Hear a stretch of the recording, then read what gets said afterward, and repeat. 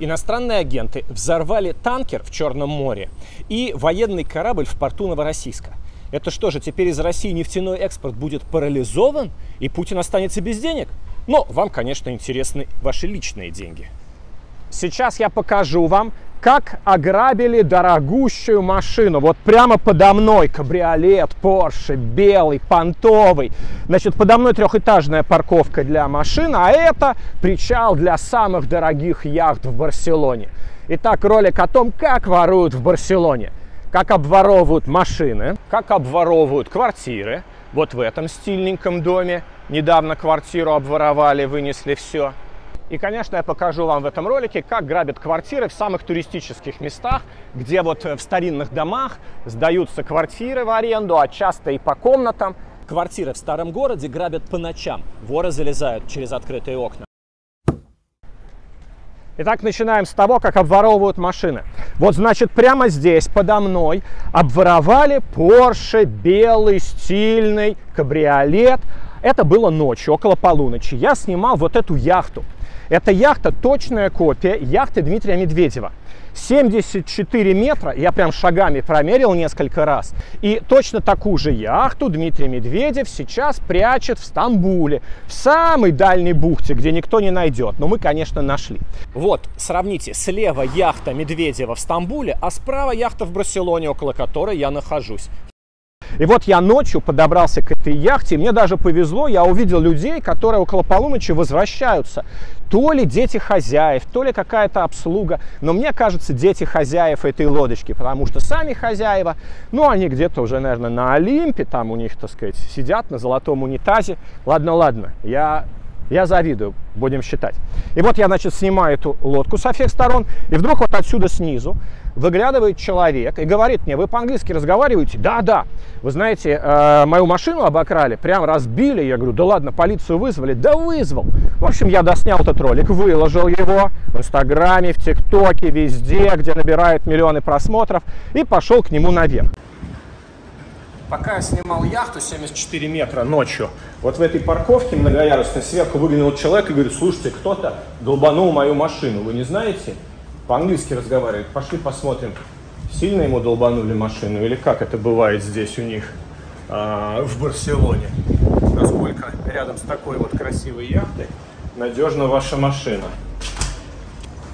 Is there a serious damage? Yeah, the glass is broken. Where is it? Look. Oh my god! Yeah, they smashed this. They, rear they, they smashed one window. Yeah, the, but like this one that goes here. Oh my god. And it is not closed when you go out? It was closed. Everything was closed. Ah, eh, Roof was up. Oh. Yes. Oh my god. Ah, someone wanted to steal something. Yeah. Yes, I guess. Yes. In Barcelona, they always steal something. It's very dangerous. They wanted to steal something. Well, they're assholes. Did you call police or something? Yeah. Is it a rent a car? Yeah. Oh my god. Да, машина взята в аренду в Барселоне. И кто-то хотел что-то украсть, вот в чем дело. То есть э, окошко долбанули, когда машина была полностью закрыта и крыша у нее была закрыта. Ну вот, как говорится, да. Ну давайте заглянем все-таки вот эта яхточка. А, точно такая же, как у Медведева в Стамбуле. О, а вот пришли люди в эту яхточку. Кто эти счастливые? Смотрите-ка, видимо, там все стерильно. Когда ты заходишь, обязательно надо снимать обувь. И этот человек тоже несет. Да, я думаю, это все-таки обслуга. Хозяева, наверное, на яхте бы на своей стали бы все-таки ходить как свободные люди в свободной стране. Если помните, друзья, как раз вот сегодня в Новороссийском порту кто-то взорвал военный кораблик русский, построенный в 1974 году. И тот кораблик, мне кажется, поменьше этой яхточки. Намного меньше. Да. И, наверное, взорвать его легче, чем эту. Видите, у нее сверху какие-то какие-то сложные прибамбасы. Может, у нее и торпеды какие-нибудь там есть, как вы думаете, а? В общем, ночью в Барселоне всегда найдется, что поснимать. Ну, а теперь квартиры. Как обворовывают квартиры в Барселоне. Вот в этом доме, чистеньком, новеньком, пару месяцев назад обокрали семью китайцев. Добропорядочный муж, жена, двое детей живут и ходят на работу, что интересно. И вот за ними следили, увидели, что у них твердый распорядок дня, и днем вынесли все. Значит, сейчас я зайду на этаж, покажу, где это. Значит, в этом подъезде консьержа нет. Иногда бывает тогда легче. Значит, квартира находится на втором этаже, но это не имеет значения, через окна не залезали. Вскрыли подъезд, вскрыли квартиру. Вот эту квартиру обокрали, номер два. Значит, соседка днем заметила, что квартира скрыта и прислонена швабра. Видите, замок здесь другой. Они полностью вывинтили замок. Здесь был типовой замок, как во всех остальных квартирах. Вот такой. И вот соседка выходит и видит, что замка нет, дверь Насти шваброй подперта, но она думает, какой-то здесь происходит ремонт или что-то в этом духе. Нет.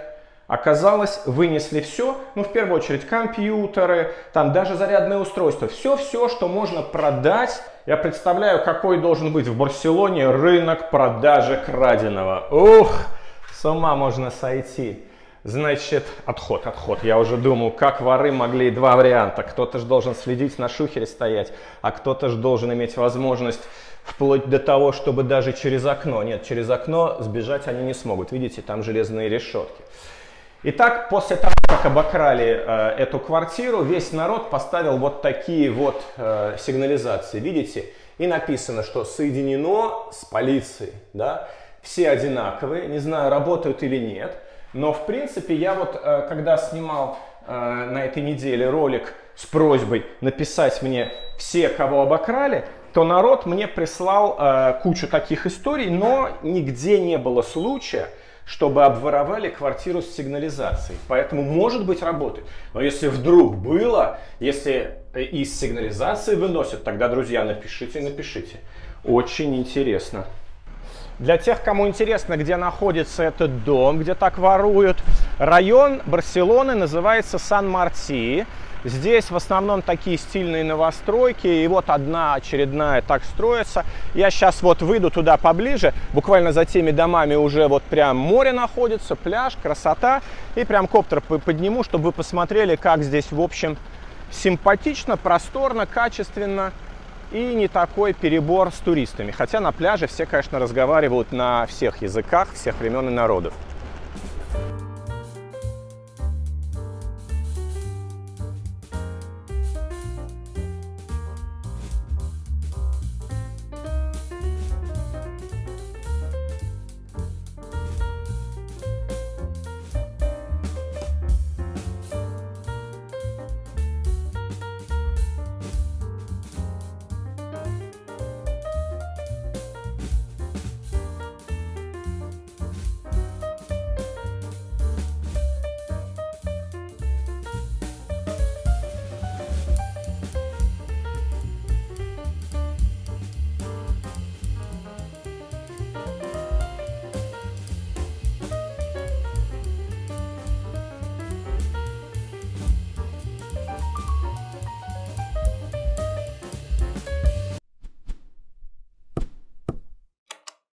Смотрите, вот Саграда Фамилия выглядывает прямо из старинных домов.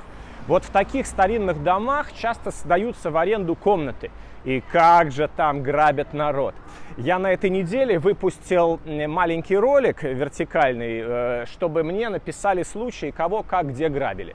И мне первое, что рассказали, что там пять мальчишек сняли там несколько комнат, то есть квартиру целиком. Вечером все немножечко, так сказать, злоупотребили пивом и их ограбили. Залезли через окно и вынесли все. Компьютеры, телефоны, зарядки. Ну вот классическая такая наличность, какая была у ребят. Поэтому вот они, старинные вот эти вот все дома. Здесь все сдается для туристов, ну потому что понятно же, да, что вот она, Саграда Фамилия. И, конечно, так сказать, рядом с ней очень круто, так сказать, э, расположиться и, может быть, даже из окна увидеть. Но я представляю, сколько стоит аренда с видом на Саграда Фамилия, но неважно. Вот я думаю, что ключевой момент, что нельзя снимать на втором этаже. И вы знаете, это отчасти подтверждается. Я вот так посмотрел внимательно по окнам. Вот, смотрите, новенький дом. Я думаю, что здесь многое сдается. И обратите внимание, на всем втором этаже аларма, вон, коннектада полиция. То есть это везде такая же сигнализация, вот как я вам показывал уже, видите? То есть второй этаж весь в сигнализации, а третий уже нет, на третьем уже нет, там уже не надо. То есть очевидно, что воры залезают по ночам на второй этаж. Ну что ж, вот уже маленькое ноу-хау. Среди тех, кто смотрит мои ролики, много иммигрантов, людей, которые вот уже полтора года болтаются между разными странами и, ну, кому по карману жить в Испании или, например, даже во Франции, здесь же до Франции недалеко, для них, для вас, неплохо бы понять, а чему учат детей в школах вот в этих чудесных европейских странах. И я вам сейчас покажу эпизод из нашего эфира, прямого эфира, где я беседовал со знаменитым разведчиком Сергеем Жирновым, который уже 20 лет живет во Франции и говорит свободно по-французски, как француз дело знает. Он учился и в России, в МГИМО, и э, в каком-то военном институте в России, а потом заканчивал школу государственного управления в, во Франции, там, где учат прям вот министров, президентов. То есть он невероятно много знает, понимает. И вот у нас произошел очень интересный разговор, целый час, очень рекомендую, но в нем мы вроде бы касаемся всего самого актуального, и войны в Украине, и заговора против Путина, и что там американцы, где украинцы, э, Путин с нефтью, без нефти, с деньгами, без деньгами. Очень много интересных тем, но вот то, что я вам сейчас покажу в качестве четырехминутного кусочка, я специально нарезал, оно касается неожиданного переворота в Африке, который стране Нигер называется, так правильно произносить. И, в общем, никому из нас с вами нет дела до этой страны, до этого военного переворота, а оказалось очень интересно. Сергей Жирнов дает понять, что его тоже устроили не без помощи Путина, потому что военный переворот был устроен прямо в день, когда Путин собрал э, в Москве вот эту встречу, саммит африканский, где там были представители 55 э, африканских стран нет, 45 африканских стран, а 5 стран не приехали. И вот Нигер была одна из тех стран, которые не приехали. И вот за это им военный переворот. Вы, когда об этом будете смотреть, вы имеете в виду, что здесь главное, чему учат и какова идеологическая обстановка во Франции. Во Франции, которая теряет Африку. И почему теряет? Такая сильная, чудесная Африка. Почему теряет? И вот именно идеологическая вот эта вот обстановка – во Франции, то, как учат и в школе, и везде, и на телевидении, вот это вы услышите сейчас в ролике. Вот смотрите. Что это Путин таки устроил военный переворот в Нигере за то, что они не хотели с ним дружить. Правильно я вас понял? Это не Путин устроил, но Путин сделал так, что это произошел этот военный переворот. Путин может повлиять деньгами. Он может сказать, делайте переворот, мы вам поможем. Вы можете мне объяснить, почему Франция дошла до такого? Ведь есть французский легион иностранный. Там не изнеженные французы служат. Там люди со всего мира такие, знаете, у которых у многих уголовка в прошлом. И они идут просто туда, чтобы спастись. Настоящие бойцы. Какие проблемы было э, французам удержать Нигер с помощью своего иностранного легиона, чтобы какой-то тут Путин, какие-то пригожинцы. Тем более, вы говорите, пригожинцев не было. Вы знаете, а, вот, э, вот чувствуется, что вы не, не в теме французской, да, потому что французов так обвиняют э, за то, что они делали много веков на африканском континенте, что они позволить себе такую вещь не могут даже близко. Вот э, если вы такую фразу сказали на французском телевидении, вас бы избили палками на французском телевидении. Вам бы сказали, что этого человека никогда больше в эфир пускать нельзя. Он задает такой вопрос. Франция вооруженные силы свои введет в какую-то чужую страну для того, чтобы защитить свои интересы, эта фразу а, политически она абсолютно некорректна во Франции. Ее произнести нельзя, подумать даже об этом нельзя. Даже думать нельзя. Хорошо, давайте я сформулирую другого на вашего французского телевидения. Франция спасает цивилизацию, права человека, э, свободу слова в, в государстве Нигер. Франция делает все для народа Нигера. Франция видит, что там заговорщики хотят устроить диктатуру и авторитарное правительство. И Франция для защиты демократии, для защиты всех самых прогрессивных ценностей вводит по просьбе законного правительства свой контингент, иностранный легион, который не позволит свергнуть цивилизованных людей, которые учились во Франции. Так можно говорить? Нет, нельзя. И так нельзя говорить. И даже так нельзя говорить. Потому что люди вам скажут, а чем Франция тогда отличается от Путина, который точно так же говорил про Украину? Ведь Путин, э, дискурс Путина, когда он вводил войска в Украину, он спасал Украину. Он говорит, мы спасаем народ Украины от э, украинской хунты, которая... Но это была неправда. А в Нигерии-то это правда. В Нигерии-то большая часть населения там неграмотная. Тех, кого, кто хочет свергнуть, они плохие. Те, кто у власти, ну они получше, они во Франции учились. А все, что. Путин гнал про Украину, это же голое вранье.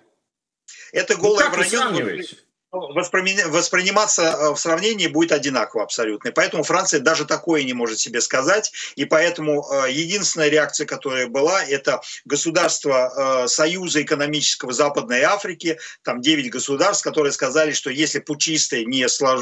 не вернут президента, то возможна интервенция ближайших соседей, а это значит война локальная, региональная, которая уже не раз происходила в, в Африке. И это на самом деле очень неприятная вещь для Западной Африки, для Африки и для Нигера. И ситуация, в общем, пока что патовая. Сергей Жирнов, наш знаменитый разведчик во Франции, очень огорчил меня сегодня, честно сказать, именно на тему Франции. Я, в общем, ждал, что здравый смысл э, во Франции, в Америке, в золотом миллиарде, он выше. Я ждал, честно говоря, что этот здравый смысл и победит Путина, и прекратит войну в Украине, и как бы, и потом устроит ренессанс в Украине огромный. А какой может э, устроить ренессанс в Украине та же Франция, если у них у самих вот такое творится? Ох, Сергей, спасибо вам, как же вы меня сегодня в очередной раз огорчили. Итак, вот что вы услышали про ситуацию во Франции.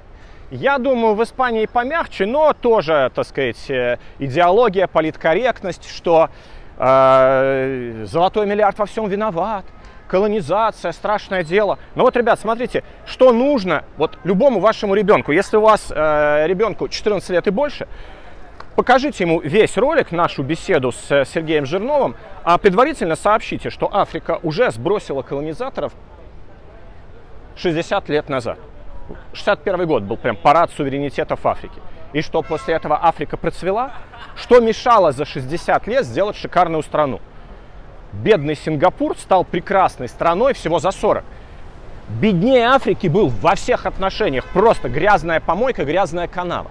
То есть вот э, африканцы не смогли без вот этих проклятых французов, таких сяких, там англичан устроиться и зажить счастливо. Так что, может быть, дело не в колонизации, а в чем-то другом. Но окей, вот я вам ссылку прям даю. Обычно я в конце ролика показываю вам полет, так сказать, с коптера над всей самой красотой. Вот когда сейчас коптер полетит над Саграда Фамилия, вы, так сказать, увидите квадратик, где наша беседа с Сергеем Жирновым на канале «Утро февраля» целиком, целый час. Очень, ребята, полезное знание, а актуальное какое. Там все и про зерновую сделку, и про... И все это, знаете, он разведчик, он прям вот вникает в нюансы. Ох, мы с ним разложили путинскую силу.